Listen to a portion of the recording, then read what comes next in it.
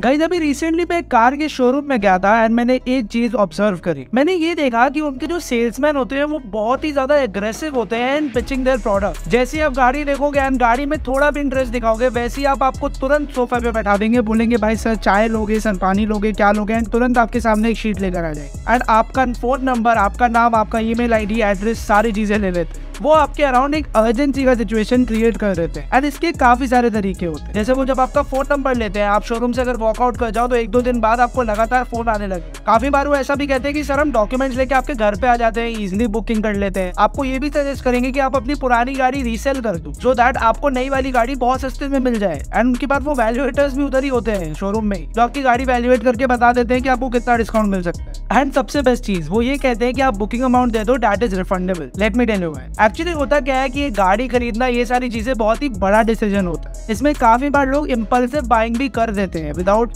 Thinking कि ये best है कि नहीं मेरे सो इसी चीज़ का फ़ायदा उठा के वॉट दे डू इज़ कि they want to capture you as soon as possible कि आपका एकदम मन बन ही जाए कि आपको वो गाड़ी लेनी इसलिए आप कभी भी आप किसी कार शोरूम पर वॉकिंग करते हो तो वो ये ट्राई करते हैं कि किसी भी तरह आप कार को उधर खरीद लो या लॉक कर लो या कुछ भी प्रोग्रेस करके ही निकलो। So that there a sense of seriousness in the bike क्या आपके साथ कभी ऐसा हुआ है? Do let me know in the comment box below and save this reel for more such content her business में ब्रांड दिखता है।